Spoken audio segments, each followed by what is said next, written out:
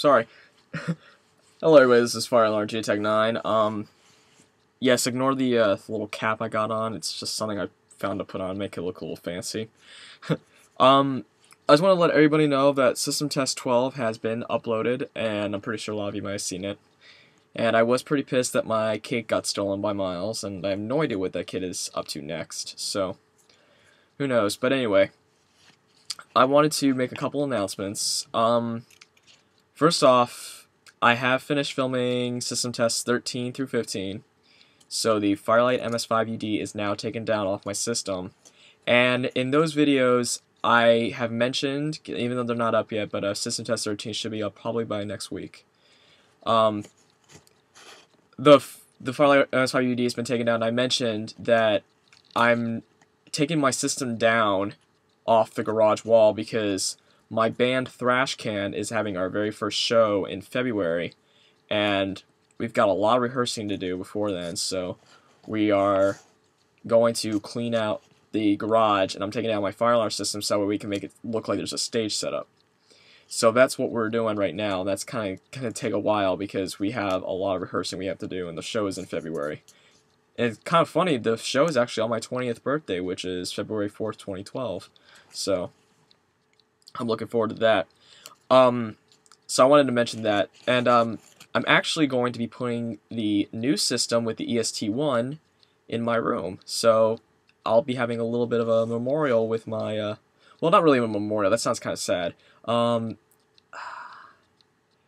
I'm trying to figure out the best way to put it. Like, um, I'm going back to the past, kind of, with the system in my room with the uh, panel in my closet. So this would be kind of like the 2008 era with the uh, uh, Alertec 8004, no 8002 for that matter, the 8002 when it was in here. So you guys might remember those videos. And uh, I'm going to be putting the system, I'm putting the panel in here, and I'm going to put the notification appliance and the pull station outside where you saw before. But I'm not going to have that big little black uh, little rectangle thing that you saw before. I'm actually not going to put that up this time, so it's just going to be screwed into the wall. I'm going to try to see if I can get it flush mounted, but that's probably going to be hard and probably won't work out, so who knows. But um, I did get some new devices, so system tests will be coming out definitely. Um, however, the only thing is after system test 15, I will not be releasing any system test probably till after February due to the fact the show is going to be happening, so I'm going to be pretty busy with that for a while.